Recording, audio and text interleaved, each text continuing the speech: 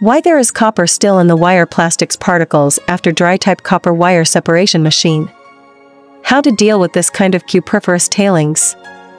There will be some copper still remaining in the dust collected from the copper granulator machine and still remaining in the wire plastics particles after dry-type copper wire separation machine.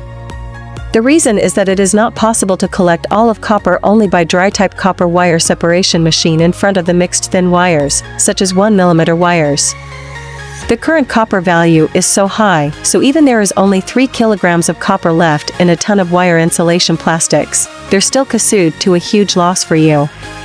In the past, these wire insulation plastics might be thrown away or be sold out cheaply, which seemed insignificant, but after a long time being, it actually waste your much profit in copper wire recycling business.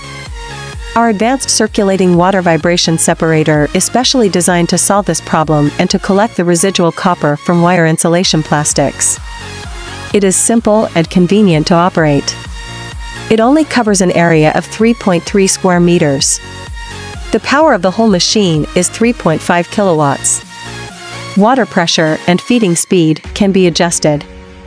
In the whole process, there is no sewage discharge, no air pollution, and it can ensure high separation rate even when the thin wire with low copper content. It can be used for second separation by using our water vibration separator. How to see how much copper can be collected out. First, to feed plastics particles into our machine by using a powerful draft fan, secondly by adjusting the water volume, amplitude and bed surface angle, you can accurately control the separation purity.